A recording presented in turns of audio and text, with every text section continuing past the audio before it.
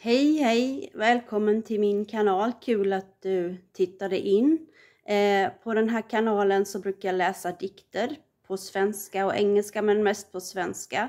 Och jag brukar prata om lite ämnen utifrån bibeln som jag har på mitt hjärta. Och eh, ofta kanske det blir om villoläror och falska läror, falska profeter eftersom vi lever ju troligtvis i den yttersta tiden och det är mycket sånt som är aktuellt nu och som jag faktiskt vill dela då. Och idag tänkte jag prata lite om tungotalet. Att det finns felaktig undervisning om tungotalet som inte är biblisk. För jag har ju gått en karismatisk eh, trosförsamling, Arken hette den i Kungsängen, där man undervisade att alla kan få tungotalet. Men jag vet att det var kämpigt för vissa för de fick det inte. Vissa i min klass på bibelskolan fick inte tungotalet och kände viss fördömelse och kamp och stress och press inför det. Att de faktiskt inte fick det fast de hade den pressen på sig att de skulle få det och man kanske la händerna på dem och skulle lösa ut det i Jesu namn och så.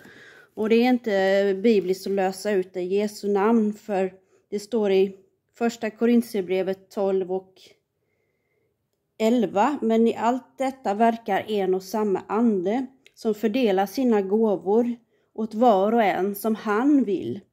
Och längre upp så i 9, vers 9 står det, en får tro genom samma ande, en får gåvor att bota sjuka genom samma ande, en annan att göra kraftgärningar, en får gåvan att profetera, en annan att skilja mellan andar, en får gåvan att tala olika slags tungomål, en annan att uttyda tungomål.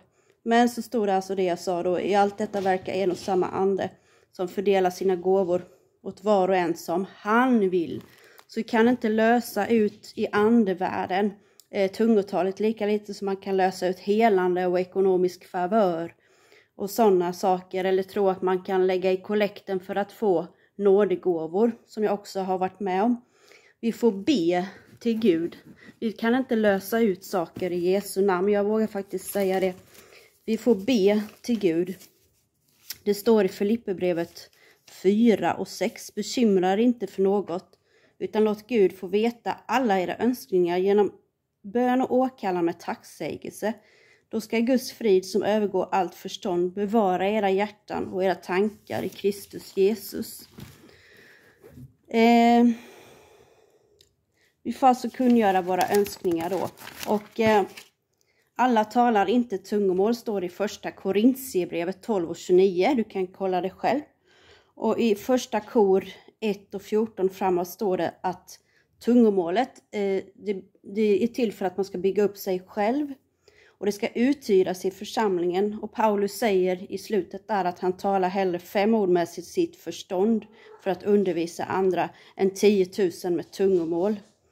Så tungomål är bibliskt, men alla får inte det du kanske tänker liksom att jag då, att jag inte har det, att det är därför jag undervisar om det här, liksom att alla inte får det. Men jag har det, för jag, jag fick det år 2003. Så, vill, så, så är det, jag har det.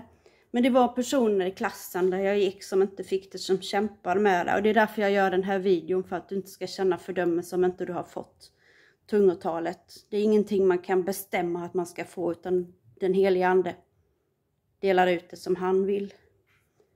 Eh, det var en kort video det här. Men eh, det var några tankar jag ville dela. Och eh, tack för att du tittar och Guds välsignelse och önskar dig en fin dag idag.